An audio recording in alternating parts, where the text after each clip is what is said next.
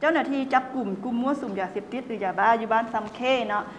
เพื่อเป็นการสกัดกั้นและต้านการค้าขายยาเสพติดไร้ย่อยให้ลดหน่อยถอยลง ในวันที่25กุมภาพันธ์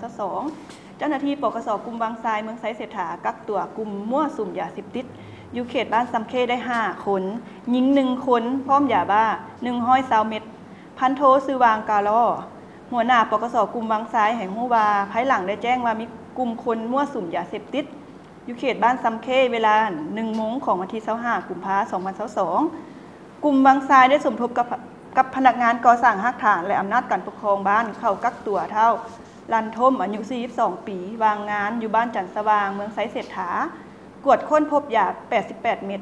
เท่าไพอายุอายุ 36 ปี วางงาน อยู่บ้านโคกสะอาด เมืองไซธานีมียาบ้า24 เม็ด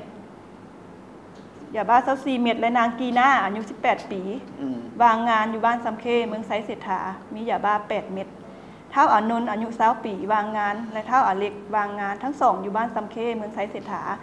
สำหรับผู้ที่มียาเสพติดในครอบครองปกสกลุ่มบางทราย ได้ให้ปกสเมืองไซเศรษฐาสืบต่อออืมสอบสวนดำเนินคดีตามกฎหมาย ส่วนเท่าอานนท์และเท่าอาเล็กเมนมอบให้อำนาจการปกครองบ้านและผู้ปกครองศึกษาอบรม อืม แปลว่าเพื่อนให้